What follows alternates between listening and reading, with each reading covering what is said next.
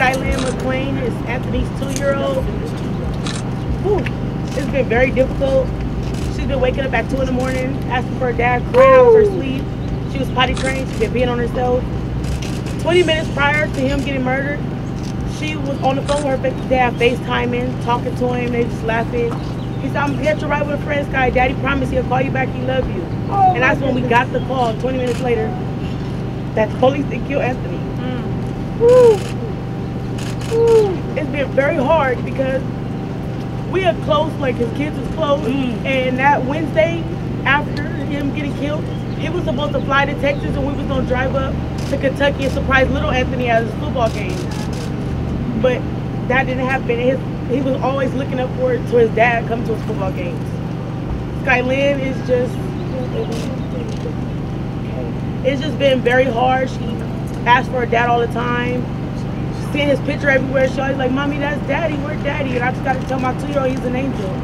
Like, no amount of nothing is gonna bring him back. We just need justice. They Yes. need to pay for this. Yes. Anthony's name should be known nationwide. Yes. It was unjustified why they killed him. Yeah. He was a father. He was always there for his kids. He loved FaceTime him no matter what was going on or where he was. He made sure he stayed in contact with his kids. And at the end of the day, we gotta look in these kids' face every time and tell them their dad is an angel. He's no longer here with them. And it's sad because tomorrow's his birthday, and they they won't be able to celebrate it with him at all.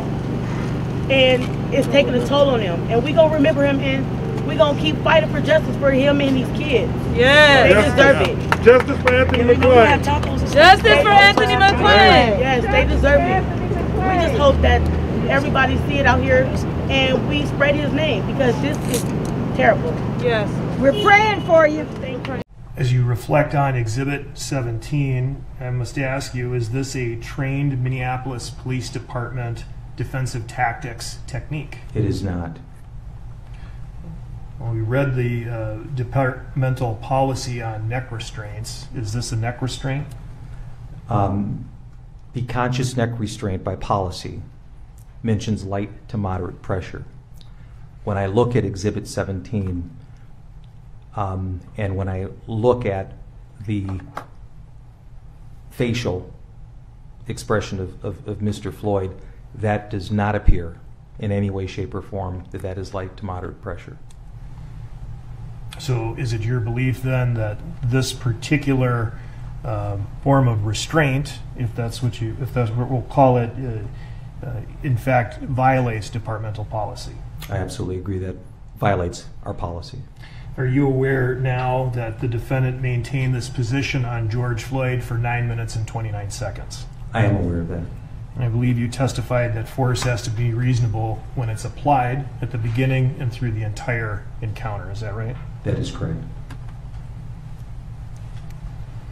Is what you see in Exhibit 17, in your opinion, within Minneapolis Police Departmental Policy 5 300 authorizing the use of reasonable force? It is not. And why not? That is, that is, uh, it has to be objectively reasonable. We have to take into account uh, circumstances, information, the threat to the officer, the threat to others, um, and we, um, the severity of that.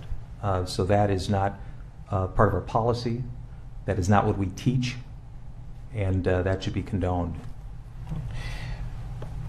When do you believe, or do you have a belief as to when this restraint, the restraint on the ground that you viewed, should have stopped? Once Mr. Floyd, and this is based on my viewing of the, the, the videos, um, once Mr. Floyd had stopped resisting, and certainly once he was um, uh, in distress and trying to verbalize that, um, that that should have stopped. Um, there's there's an initial reasonableness in trying to just get him under control over the in the first few seconds, but but uh, once there was no longer any resistance, and clearly when Mr. Floyd was no longer responsive and even motionless to continue to apply that level of force to a person proned out, handcuffed behind their back, um, that that uh, in no way, shape, or form is anything that um, uh, is by policy, it is not part of our training, and it is certainly not part of our ethics or our values. touch the area that you would call your flank on your body. On your body, it would be right here.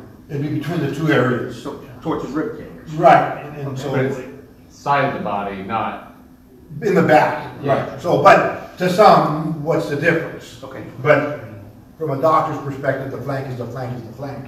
Uh, directly, I think when we talk about the back, it's your back completely, so you have no turning, no nothing. It might be considered a complete run. And that can be problematic for everybody when we see that. Was there an exit wound? Yes, through the chest. So the trajectory of the bullet came through the body and exited through the Yeah, chest? correct. So does that suggest that he may have been shot from behind? No, the entry wound decides uh, where he was shot at. So that means So that's what he. Yeah, from the, from the flank coming out. So I, more of that will be needed by the autopsy. We don't have a security clearance or a hold on, on the, uh, on the uh, autopsy report, which is new, right? What do we always do, man? Uh, For a year. That's not happened yet, okay? So you're not putting an administrative No, hold on? no, no, no. You're giving me your word you're not? Yes, sir. Jason, am I right on that? And no hold. No hold. And you, you're keeping the investigation in-house? Yes, so, I need to finish up the, try this out, but, but to get to that point, and and please, this is the neat part about not having a million media people, we can get back on point and have our, our community discussion in here. But, um, by us having our investigation, number one, we have video, so you can't hide the facts, number one. I, I just don't think when you have video, you can say something other than what occurred. Number two, I'm able to engage you like this. We're able to release the video, and we are able to have uh, communication with the council, with the community, with the press, to have these occur. That, that's why I think this is important for us to do our own investigation. That is not gonna happen. Next year, when the DOJ comes in to do local investigations, I worry for law enforcement that they're gonna lose that ability to have this, this communication or this contact. But That's something we have to deal out later. Under the sheriff's. Right, so, so there's no hold on this autopsy report, all right? There's no hold on this thing, and, and the commander will ensure that continues forward.